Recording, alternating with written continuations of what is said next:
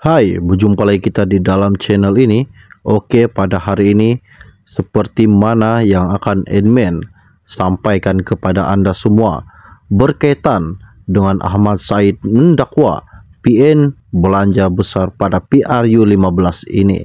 Jadi sebelum itu jangan lupa tekan butang subscribe, tekan juga pada butang lonceng supaya Anda tidak ketinggalan info-info penting yang akan admin sampaikan di dalam channel ini.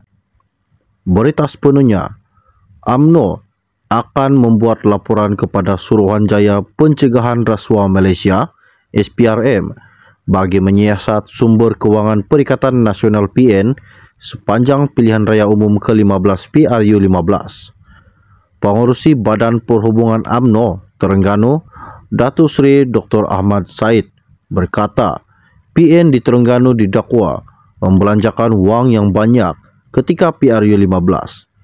Beliau yang juga bekas Menteri Besar Terengganu berkata, laporan akan dibuat pihaknya bagi meminta SPRM menyiasat sumber kewangan parti berkenaan. Jadi, kita minta SPRM siasatlah dari mana punca kewangan yang begitu banyak.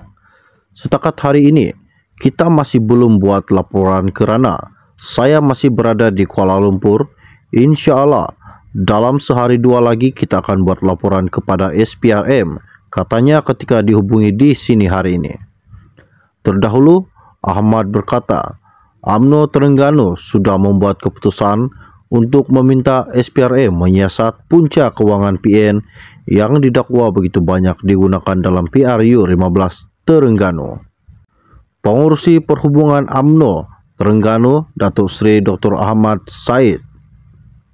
Sekian info ringkas dari admin pada hari ini. Salam jumpa dan salam kenal semua. Bye-bye.